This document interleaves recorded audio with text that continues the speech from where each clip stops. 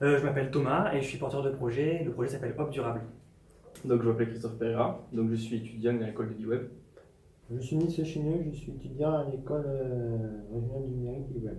Alors, Hop Durable, on est basé à Grenoble et notre objectif, c'est de permettre à chacun, euh, n'importe quelle personne euh, du grand public ou des collectivités, d'aménager des espaces extérieurs euh, en mobilisant des ressources locales.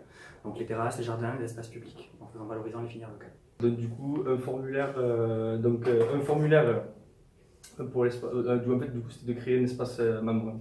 Donc, avec la création de formulaire pour la connexion, pour l'inscription. Ensuite, il y aura une partie de chat.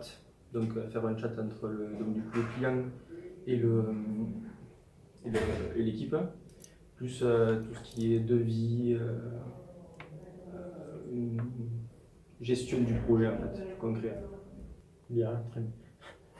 Effervescence. Café.